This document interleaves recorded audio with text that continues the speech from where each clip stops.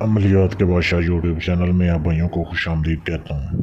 اگر آپ بھائیوں میرا چینل اب تک سبسکرائب نہیں کیا تو اس کو ضرور سبسکرائب کر لیں اور بیل کے بٹن کو دبا دیں تاکہ ہر آنے والا نیا عمل آپ کو ملتا رہے۔ آج کے عمل میں میں بغیر کچھ پڑھے آپ کو ایک ایسا منتر، ایک ایسا نقش دینے جا رہا ہوں جس سے آپ اپنی پسند کی لڑکی کو یا لڑکے کو اگر لڑکی بھی کرنا چاہے لڑکے کے لیے تو بھی اس عمل کر سکتی ہے۔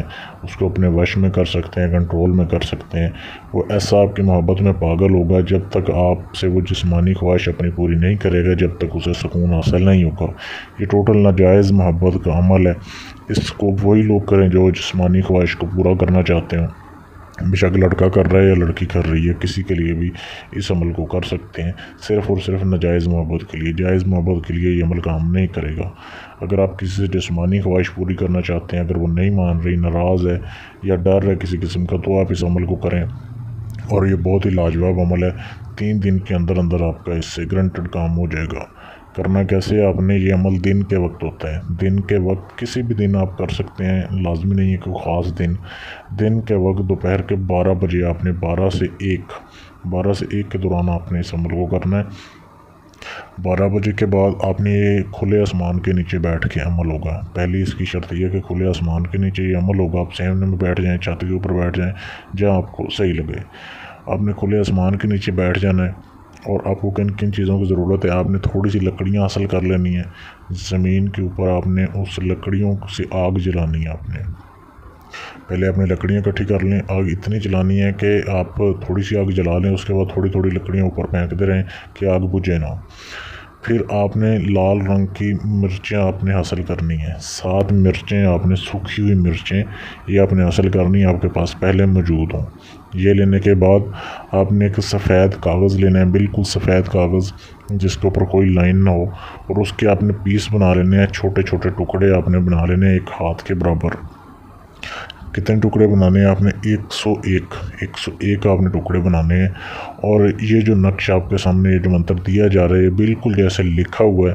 یہ ایسے آپ نے ایک ایک نقش، آپ نے ایک ایک پیج کے اوپر، ایک ایک ورقے کے اوپر آپ نے لکھتے جانا ہے۔ لال رنگ کی سیاہی سے، لال رنگ کا پوائنٹر لے لیں آپ یا پین لے لیں۔ لال رنگ کی سیاہی سے آپ نے یہ نقش لکھتے جانا ہے ایک ایک کے اوپر۔ جہاں پہ لکھا ہوا ہے، یہ فلاں بن فلاں علاؤ فلاں بن فلاں پہلے آپ اپنا نام لکھیں اور اپنی والدہ کا نام لکھیں، پھر لڑکی کا نام لکھیں اور اس کی والدہ کا نام لکھیں۔ اگر والدہ کا نام نہیں پتہ لڑکی کی، تو آپ انتہوا بھی لکھ سکتے ہیں، لیکن عمل کرتے ہوئے اس کا ذہن میں رکھنا پھر لازمی ہے کہ میں فلاں کے لیے یہ عمل کر رہا ہوں۔ اپنے نقش اکٹھے لکھ لینے، اس کے بعد آگ جلانی ہے اپنے آگ پہلے نہیں جلانی، بعد میں جلانی ہے نقش لکھنے کے بعد۔ آگ جلائیں، اس میں مرچیں آپ نے ڈالنی ہیں پہلے۔ مرچیں ڈالنے کے بعد ساری ایک بات پھینک دیں اس میں۔ پھر آپ نے نقش اس میں جلانے ہیں۔ نقش آپ نے سارے اکٹھے نہیں جلانے، آپ نے تین بار جلانا ہے اسے۔ پہلے پچاس جلانے ہیں، پھر پچاس جلانے ہیں، پھر ایک جلانا ہے۔ اس ترتیب سے آپ نے نقش کو جلانا ہے۔